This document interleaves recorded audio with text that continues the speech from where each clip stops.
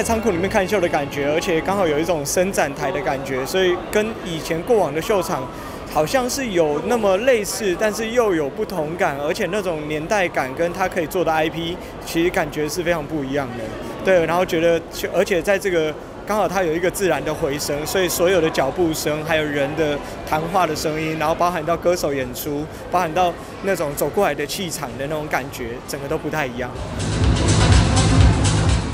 画面中是基隆港历史最悠久的西岸码头仓库，建于一九三零年代，见证着台湾与国际接轨。而在近百年历史的氛围中，听见传笛声传来，浓浓的港都特色让观众沉浸在其中。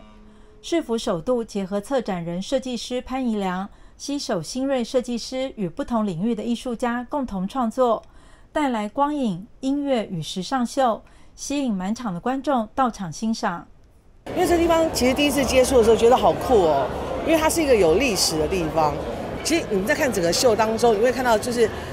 有没有有个鸣笛的那个声音，就好像那个，因为我们拿的是大家都拿着船票，好像有点就是哎进到那个船呃就是就是要登船的那种概念。然后再来就是说，慢慢演变到后面的时候，我们用一种比较呃就是在音乐方面也会看到它一些改变，因为希望让大家感受到就是从历史到。呃，就是我们希望能够把一些未来甚至科技结合在这次当中，所以我觉得这是我我我觉得我有感受到那种这种很强烈的 DNA 的那种概念，就是我希望把时尚艺术能够带到这个地方。那真的非常谢谢基隆市政府，让我有这样的机会做这样的事情。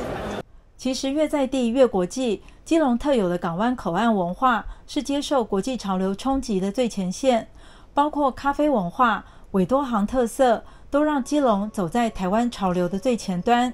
而在这个老仓库进行的潮流时尚秀，更带来了视觉与心灵的响应。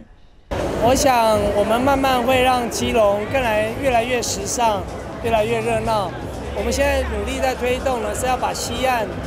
把它更多的旅游、观光、消费、城市生活的元素，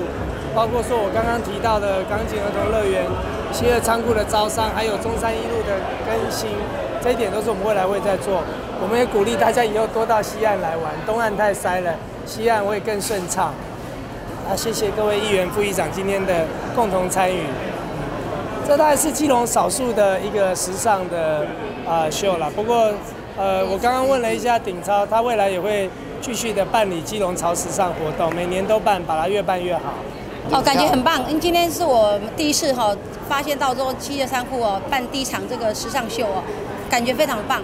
那也谢谢我们谢市长这么精心的安排哦。我想这个秀哦，把这个基隆整个自助性行销，借由这个走走秀哦，把这个基隆整个美好呈现出来，我觉得非常的棒。希望说市长以后多多办这样的一个活动，我真的很棒。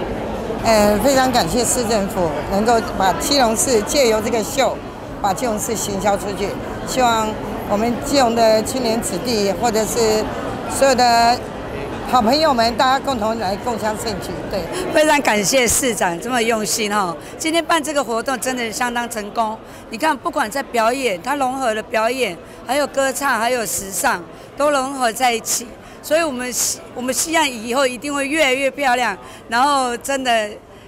大家会另眼相看，真的的一定会更好。主办活动的市府产发处也邀请超过二十家的基隆伴手礼好物参与展售，让各地来访的贵宾们进一步也了解基隆在地的美食文化。记者黄日升、陈淑平，基隆报道。